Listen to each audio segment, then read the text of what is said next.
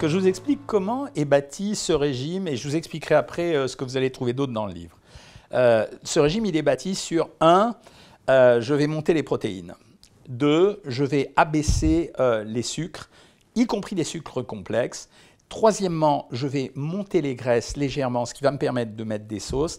Et quatrièmement, je vais jouer énormément sur les fibres. Ça veut dire que je vais monter les fibres. Alors comment je vais faire ça?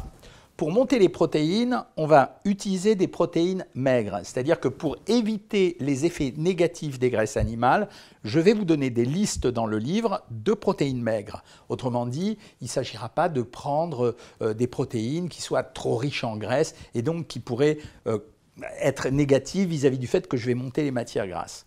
Deuxièmement, euh, à l'intérieur des graisses, je vais faire une sélection des matières grasses. C'est-à-dire que je vous donnerai des recettes de sauce, mais je vais utiliser les meilleures graisses c'est-à-dire celles qui risquent pas trop de nous boucher les artères et celles qui en même temps sont positives pour notre santé.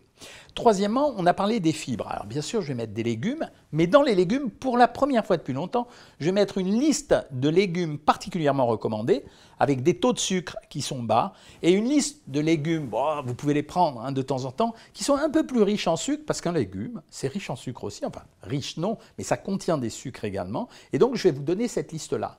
Et je vais faire pareil pour les, pour les féculents. Oui, vous avez le droit de prendre des féculents, mais je vais utiliser plutôt des, des féculents euh, type légumineuses, pois, pois chiches, euh, fèves, haricots, etc., plutôt que des féculents qui seront à la fois riches en sucre, mais dont l'indice glycémique pourrait être un peu élevé, car on va jouer un petit peu sur l'indice glycémique, même si euh, ce n'est pas l'élément majeur d'un régime, ben oui, ça peut compter aussi. Donc quand on va jouer sur ces quatre paramètres, on va refabriquer un régime avec un taux calorique qui va être suffisant pour éviter les carences, mais en même temps qui va vous permettre d'augmenter votre sensation de satiété, euh, d'augmenter également votre taux de protéines euh, pour avoir justement un renforcement peut-être musculaire également, mais d'avoir suffisamment de fibres pour éviter la négativité d'une insuffisance en fibres euh, qu'on pourrait avoir si on n'avait pas une trop forte consommation de fruits, parce que je vais forcément limiter les fruits, puisque j'ai décidé de limiter les sucres.